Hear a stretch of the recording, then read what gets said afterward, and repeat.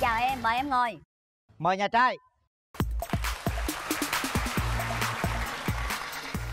ngồi đi em trai xin mời nhà gái giới thiệu cho mình nè Dạ, em tên là Lâm Thùy Linh ạ. Hiện tại là em 25 tuổi và em đang ờ, kinh doanh chuỗi bà sáu gà đầu dưỡng sinh ạ. thì linh quê đâu vậy Dạ, em quê ở đây ạ. ở đây là ở đâu Dạ quê ở Sài Gòn. Mẹ em là người ờ, Quảng Ngãi, còn ba em là người Sài Gòn. ở đây là em đang sống với ba mẹ luôn đúng không Dạ đúng ạ. quận mấy linh Dạ em ở quận 11 ạ. quận 11 thành phố Hồ Chí Minh rồi mời bà nhà trai Em xin chào anh Quyền Linh, chị Ngọc Lan và quý vị khán giả. chào nhà trai Em là Toàn và sinh ra và lớn lên ở miền đất Quảng Nam yêu thương. em làm công việc gì toàn Hiện tại là em là kỹ sư xây dựng, đang công tác tại Bình Phước, tức là ở Bình Phước luôn đúng không hay làm công tác thời gian rồi công tác thời gian. thời, tức là bây giờ cơ quan đang điều đi Bình Phước thời gian Dạ. rồi em lại về Quảng Nam hay sao Công ty là trụ sở ở Sài Gòn. à rồi toàn là có mấy anh em Gia đình em là bảy anh em. bảy anh em em thứ mấy Em là thứ năm. Sau lưng em là còn à, hai em gái. à hai em gái nữa bây giờ thì à, nhà gái à, cho nhà trai biết ưu điểm khuyết điểm đi nào đúng rồi ưu điểm là gì khuyết điểm là gì Dạ. Ờ, ưu điểm của em thì em nghĩ em là một người khá độc lập á chị. Ờ, từ lúc mà em ờ, 18 tuổi là em đã độc lập tài chính em kiểu em cũng có thể tự chi trả nhiều ờ, như là học phí hoặc là sinh hoạt của mình á. ủa mà đi học rồi tiền đâu mà tự chi trả chi phí học tập Dạ em đi làm thêm làm vừa học thêm. vừa làm. trời giỏi vậy trời rồi còn khuyết điểm của mình Khuyết điểm thì em là người dễ xúc động á chị. ừ. Dạ.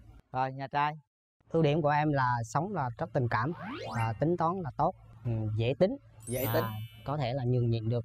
Khuyết điểm là đôi lúc thì có bừa bộn một tí.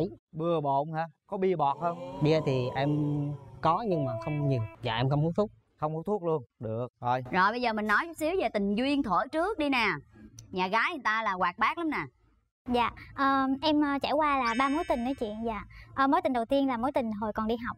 Còn mối tình thứ hai thì là em bị cấm sừng. yêu bao lâu mà cắm sừng em gái à, cũng được một năm mấy ạ. năm mấy mà cắm sừng luôn á hả người ta sinh như vậy đó ai mà nỡ ông nội nào cắm sừng đấy cô gái xinh đẹp quá sợ.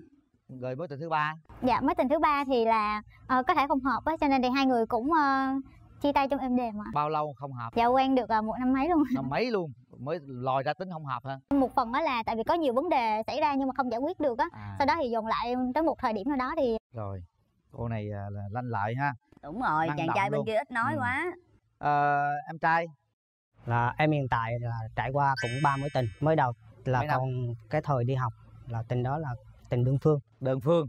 Rồi mối thứ hai. Mối thứ hai thì lúc em đang đi học đại học và sau đó thì à, cũng chóng vánh khoảng một năm là chia tay. Năm chia tay cái đơn phương ở lâu không? Và đơn phương thì lâu. Mấy năm? Khoảng 4 năm. Trời ơi đơn phương yêu 4 năm mà không dám nói luôn á. Ủa ủa alo. Ừ. rồi mối tình thứ ba? Mối tình thứ ba là mối tình gần đây nhất thì à, thời gian quen nhau thì à, một năm. Ừ. sau đó thì hai người không hợp nên là thành không hợp luôn Dạ. tại em ít nói quá thành ra cô kia không biết sao là hợp hay sao.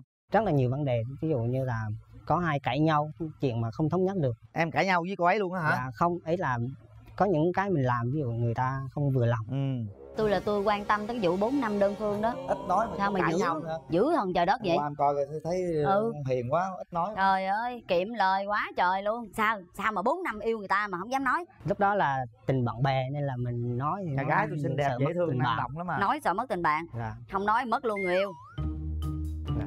trời ơi ông hiền gì mà ông hiền dữ thần Ờ. trời đất vậy mong muốn có bạn gái như thế nào nói cho chị lan nghe thì coi à, ngoại hình là dễ nhìn là được ừ còn tính cách thì là sống tình cảm. Có mẫu hình lý tưởng không? Giống thích giống ai? Thích cái người mình giống ai? Là cũng không có thần tượng nào. Trời ơi trời. Gì?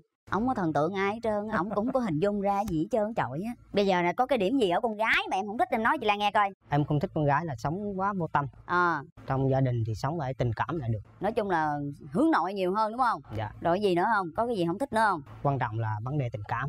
Rồi rồi giờ cô gái nói cho chị lan nghe đi mẫu hình bạn trai em thích là cái gì mẫu hình bạn trai em thích là một người ờ, sống mũi ờ, hơi cao một xíu.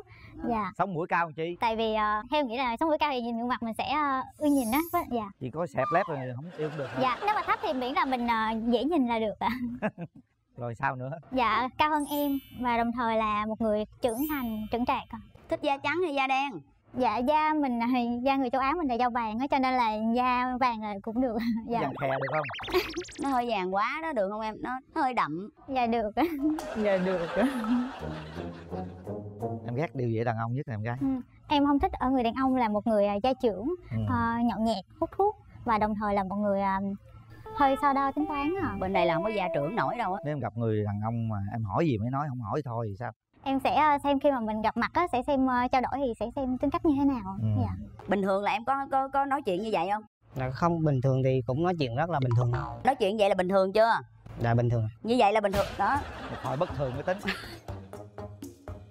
Chọc nó hoài. Ừ, được rồi bây giờ đang nè, nhỏ càng rung rồi càng chọc là nhỏ càng rung nữa. Chọc tôi rung cho quên đi đó. Thoải mái lên nào cho em à, thoải mái đó. ha. ha thoải mái lên thì mình mới cua con gái nhà người ta được. Em đi với ai dạ em đi một mình á một mình hả? Rồi có ông mai ông rồi to để tôi đứng cho đỡ rung linh đi với ai linh? Dạ em đi với gia đình em ạ. À gia đình luôn dạ hả? ba mẹ em gái và bạn thân ạ. Có ba mẹ em gái ruột luôn á hả? Dạ. Trời ơi quá trời nghiêm túc rồi. Rồi con chào cả nhà. Chào nhà gái. Trời ơi nhà gái nãy giờ ngồi cười không má à. nói đi má. Dạ chào. Em chào em xây Quyền Linh với cô Lan. Dạ chào Dạ. nhà gái. Em sao chú giờ nói sao có biết gì đâu? Rồi nãy giờ thấy con trai này sao thấy cái cậu này có hiền quá rồi hai đứa nếu mà có duyên thì chấp nhận. Được Hiền không? quá được không má? Chưa biết để mai mốt về. Mai mốt về hả? Mà sao nãy giờ má cười dữ vậy? À, con chào chú Hoàng Linh, à, em chào chị Ngọc Lan. Dạ, em ờ, thay thế lời của má với lại ba em nói. Chú Hoàng Linh kiểu như nói câu nào là với má con là cũng có duyên hết ủa vậy đó hả? Dạ, má con nhà có coi chương trình bấm dạ Ngộ? hoài luôn. à, vậy đó hả? Dạ, trời ơi. Rồi cười không vậy đó hả cô? Ba giờ đêm cũng coi luôn. Mê chú Hoàng Linh với chị Ngọc Lan lắm. vậy bữa nào lên đây ngồi luôn đi.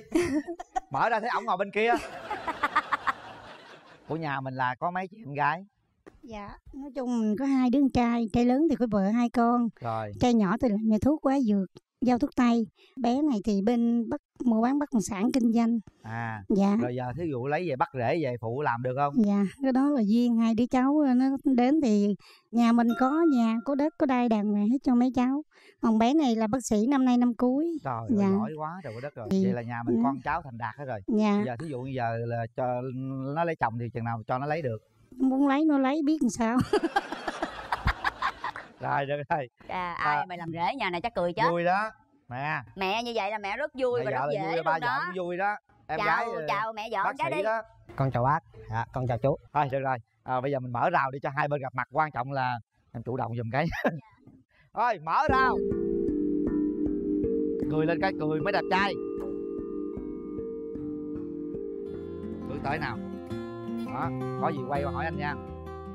Đi đâu qua bển vậy em có món quà tặng em gửi anh đây là dầu gội bà sáu bên tiệm của em à bà sáu gội đầu dưỡng sinh em gửi tặng anh. Em gửi tặng chị. cảm ơn em.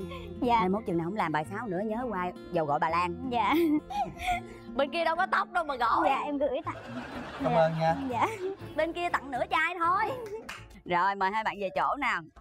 Lần đầu tiên gặp anh thì em thấy anh như thế nào? Em cảm nhận là anh là một người à, khá nhút nhát đúng không ạ? Nhút nhát và hơi à, kiểu à, không có được chủ động lắm em là À, một người à, khá là chủ động tại vì à, có thể là trong môi trường làm việc á em giao tiếp cũng nhiều á. Dạ. Hiện tại là anh đang à, sống ở à, hiện tại là anh đang à, sống và làm ở bình phước. Còn em thì à, ở quận 11 Ừ. theo em thấy là có xa không ạ? Không bình thường à dạ. mình cuối tuần là mình cũng à, về trên à, nhà người thân trên này. Theo anh là quan điểm như thế nào về à, tình yêu ạ?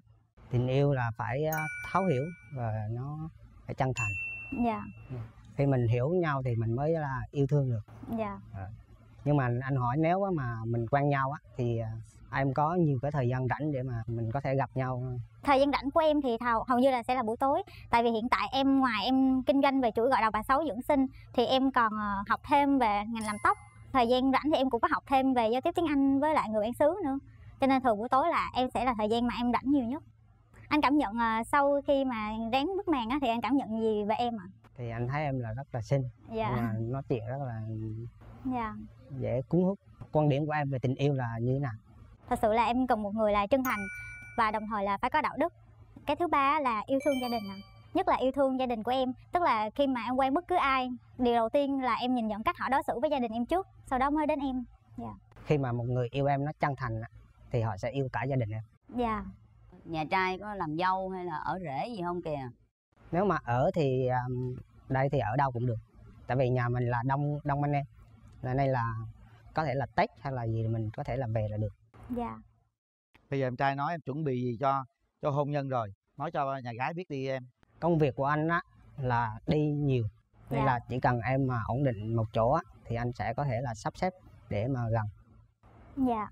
Tiền thì mình cũng có ra để dành nhưng mà do em gái mình giữ hết. Em gái thì có đi mua đất nên là mình có đưa tiền cho em gái giữ thôi con gái giữ có trả lại không? Quan trọng là cái đó đó. Khi mà có gia đình thì sẽ trả. Tại sao anh lại không giữ được mà là em gái anh giữ à? Anh giữ thì nhưng mà mình để đi đầu tư. Ví dụ em gái nó có mua đất hay gì thì đầu Ừ. tư cho nó phát triển lên. Mua được mấy miếng rồi? Cái này cũng ờ, không rõ. Không rõ. Nếu mà lấy vợ đó là em quyết định có ở thành phố Hồ Chí Minh hay không? Cái thứ hai là cái công việc em đi quá nhiều như vậy lấy vợ về em có ở một chỗ hay không? Hay là cứ lấy vợ về vẫn đi như vậy thì thời gian đâu chăm sóc vợ con. Nếu mà có gia đình á thì à, ở cái thành phố này là ngành xây dựng thì cũng rất là dễ xin việc. Nên là có thể nếu mà ở thành phố thì vẫn được. Rồi lấy vợ về tiền ai giữ? Là vợ giữ. Là vợ giữ. Rồi nhà gái thì sao? Lắng nghe thì em cũng ờ, cảm nhận là anh là một người ờ, khá là chân thành. Nhưng mà em nghĩ là ờ, cái đại đầu tiên á, thì em thấy có vẻ em hơi rụt rè. Nhưng mà sau khi vừa trò chuyện này á, thì anh cũng thấy anh cởi mở hơn nhiều á đứng lên đây đứng lên đây. Cho nó gần hơn. Ừ, đây. Dạ. Đó. đây gần hơn nè. Bây giờ đó em nói chuyện với cô gái đó em cảm nhận cô là người thế nào em thấy thích không rồi em mong muốn gì em nói cho người ta nghe đi. Đối với anh thì à, gặp nhau giữa hàng triệu người là mình đã có duyên rồi. Dạ. Thì may mắn anh là anh lại gặp một người xinh đẹp như em. Nên là anh mong em hãy cho anh một cơ hội để được chăm sóc cho em à, em hát tặng bằng một à, một đoạn của bài nhỏ ơi. Dạ. Lần đầu ta gặp nhỏ trong nắng chiều bay bay ngập ngừng ta hỏi nhỏ nhỏ bảo nhỏ không tên. Ừ thì nhỏ không tên bây giờ quen nhé nhỏ nhỏ ơi. Rồi các bạn về ghế ngồi đi các bạn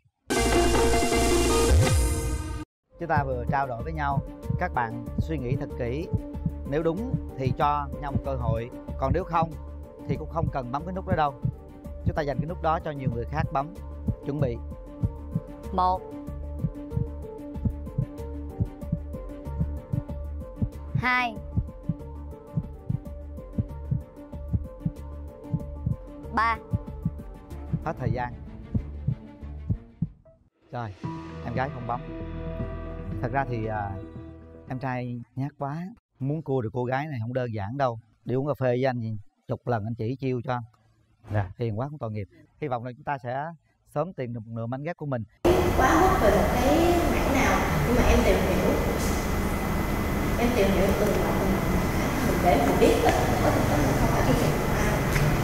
Ly cũng như là theo nghĩ cũng như một người nữ là giỏi đa năng em không dám nhận có nghĩa là em chỉ muốn học hỏi và rút theo kinh nghiệm của mình thôi chứ không phải là đa năng gì hết người ta muốn làm nhiều người ta muốn làm nhiều không phải là để người ta bươn chải với cuộc đời Dạ. đúng không Dạ, đúng rồi. nhưng mà nếu như trong một hoàn cảnh khắc nghiệt thì người ta cũng sẽ có thể khả năng bươn chải Dạ. nhưng mà phải mà phải khắc nghiệt gì chứ tự nhiên làm việc về quan trọng là bươn chải rồi cảm ơn các bạn với cái thời gian đã tìm hiểu nhau ở đây có khá nhiều chất liệu mà chúng ta đã có thể hiểu về đối phương để có thể đưa ra quyết định dọn đồ mấy đứa dọn đồ.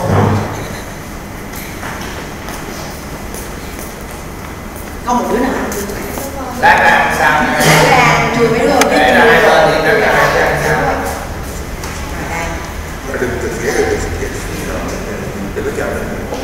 rồi bé gái mình ngồi thẳng.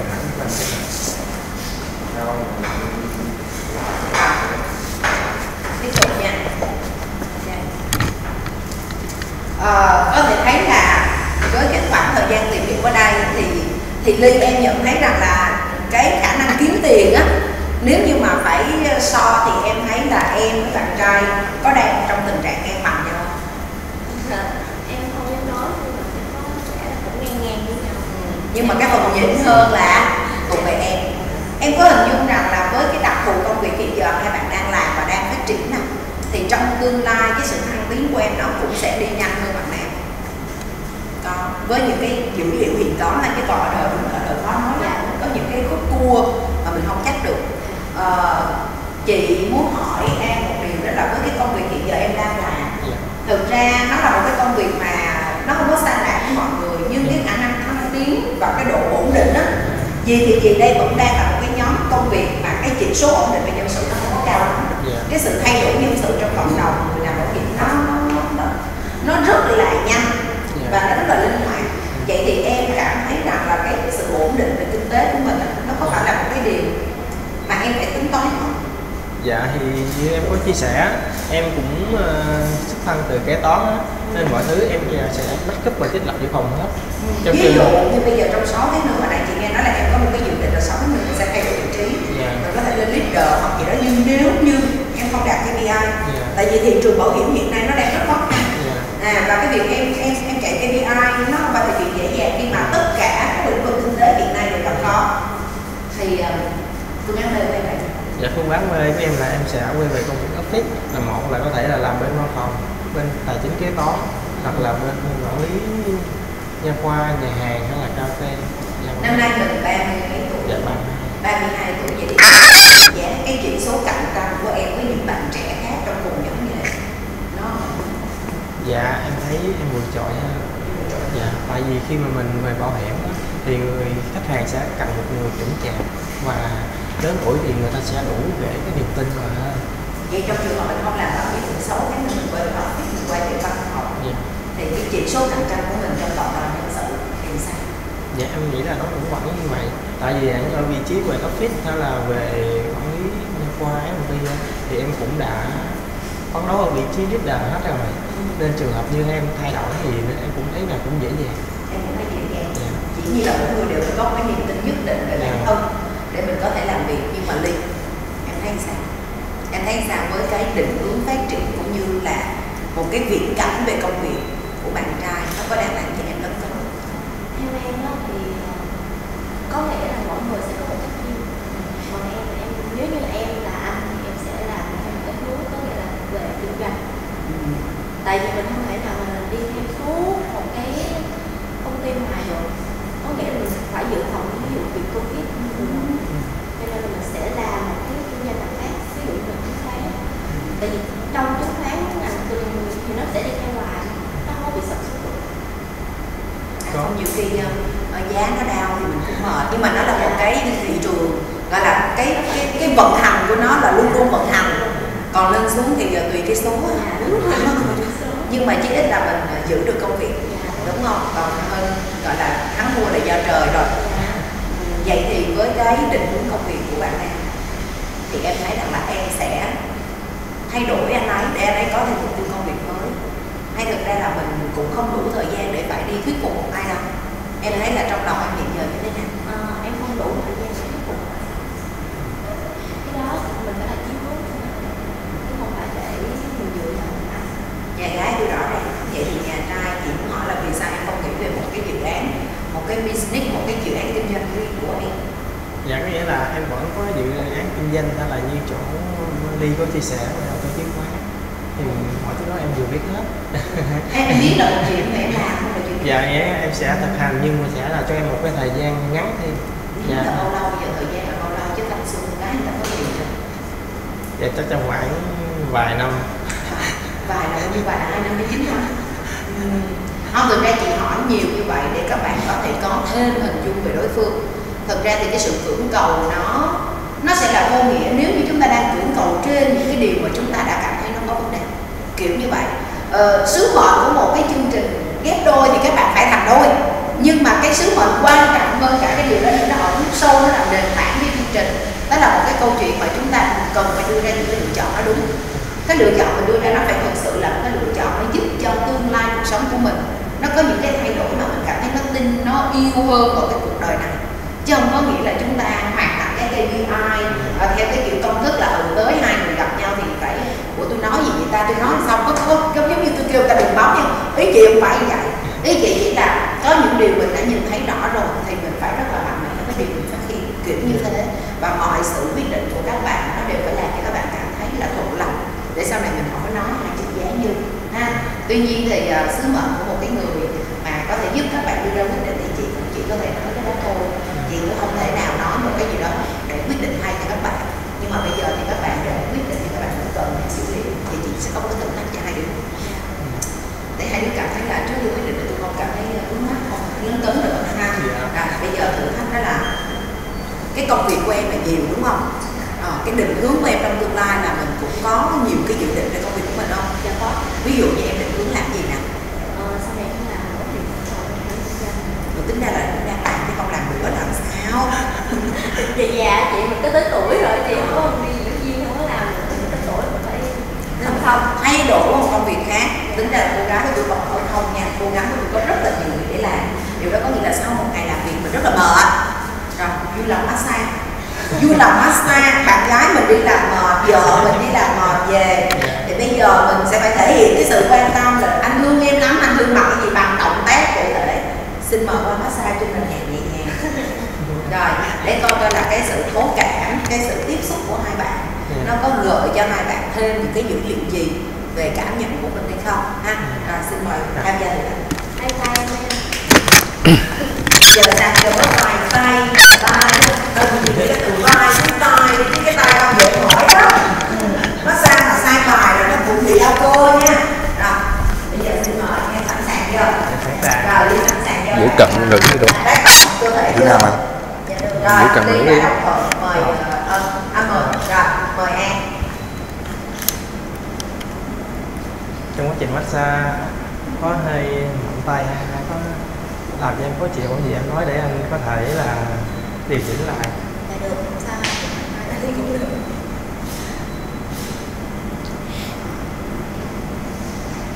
Cái này giống rút giận chứ massage gì Massage kiểu này là là mệt rồi là mất khách rồi. Rồi cảm ơn An rất nhiều với uh, phần uh, Mình sống gì đâu bây giờ đi. chắc là trong cái thời gian ở đây Linh đã có thể nắm được ờ, cảm nhận mình có thể quyết định. Và đây là cái quyết định quan trọng nhất chị vẫn phải ờ, nói một cách rất là chân thành với tất cả các bạn tham gia chương trình. Chúng ta gặp nhau là một cái duyên. Chúng ta đi được xa với nhau hay không là nó còn liên quan cả duyên, cả nợ, cả sự cố gắng. Tuy nhiên cái điều quan trọng nhất trong cuộc sống không phải là tới tuổi thì phải làm việc này hoặc là tới tuổi nào đó thì phải làm việc tiên mà cái quyết định của mình nó phải dựa trên những cái cơ sở nó thực sự là thỏa đáng à, để sao cũng được mỗi một cái tình huống mình trải qua nó đều cho mình những cái thông tin nó có lợi và mình cầu cuộc sống này nhiều hơn. À, chứ không có nghĩa là phải là một cái quyết định nào đó ha. Và, và ngay bây giờ thì mời các bạn đặt tay vào cái nút hình trái tim.